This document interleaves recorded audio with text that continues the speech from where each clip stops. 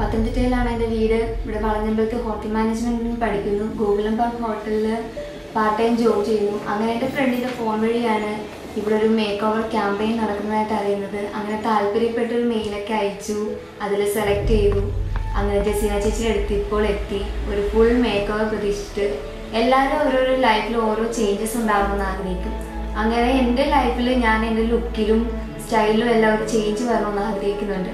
അങ്ങനെ എല്ലാ മേക്കവറും പ്രതീക്ഷിച്ചിട്ട് ഞാൻ ജസീന ചേച്ചി എടുത്ത് എത്തിയിരിക്കുന്നു എന്താകുമെന്നൊന്നും അറിയത്തില്ല.